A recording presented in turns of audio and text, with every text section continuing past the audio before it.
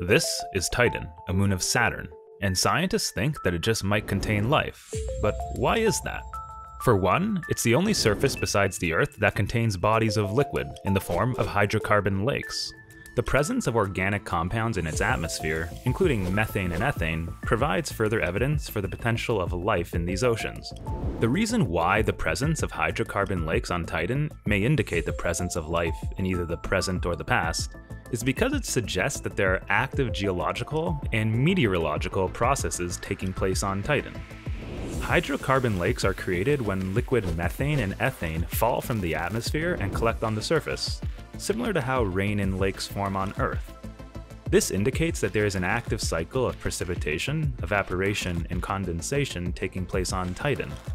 All of these factors combine to make Titan a compelling target for further study and exploration to determine if life could exist on this moon.